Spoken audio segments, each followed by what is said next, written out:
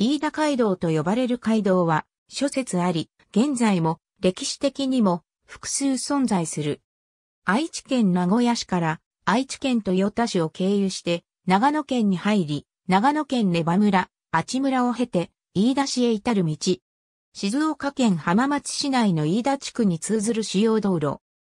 現在、地図、あるいは道路標識で飯田街道と確認できる箇所は、名古屋城下から矢後と高尚寺に向かって、斜めに貫く愛知県道56号名古屋、岡崎線沿い、天白川を越えて平張までと、愛知県道58号名古屋豊田線の豊田市、保健地区界隈と、根羽村豊田市衣町1丁目交差点豊田市、小坂町10丁目交差点豊田市小坂町7丁目交差点、東郷町書林交差点まで。これらの道を一本の街道と地図上に描くことができない。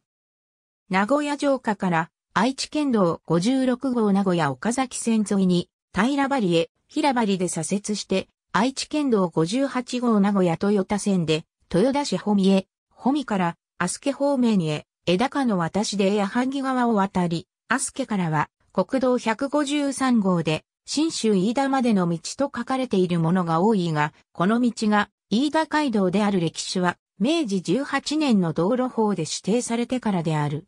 江戸時代の文献では、名古屋城下より東へ伸びる道が4筋描かれている。大曽根から森山区大森を経て、愛知県道61号名古屋瀬戸線上本野村へ、大曽根から鍋谷上野、井の子石原を経て、八田川沿い山口村へ大曽根から、末森村、高張村、岩崎村、岩藤、米野木、三本木、保見、さなげ名古屋城下から川名、上田、平張、裕福寺からが頭へこのうち1と3の道は別の文献で、新州飯田街道と書かれている。名実ともに由緒ある道である。新州飯田街道は中山道の脇王冠として栄えた下街道の脇道である。東能から瀬戸、名古屋を結んでいる。2の道の先は地図に描かれないほどの道を通って保見へ。新州飯田を目指したことを示す道標がある。1、原3、いずれの道も、保見を経由している。また、江戸時代に日清市赤池から豊田市衣町に向かう道は存在していた。衣より矢作川沿いに北上する道は、保見方面から新州飯田に向かう道に、アスケの手前で合流する。この道も江戸時代からの歴史ある新州飯田街道である。明治時代になって法律で規定された道は年表参照。ほぼ国道153号沿いであり、根弱ルートは変わらない。いくつか別名がある。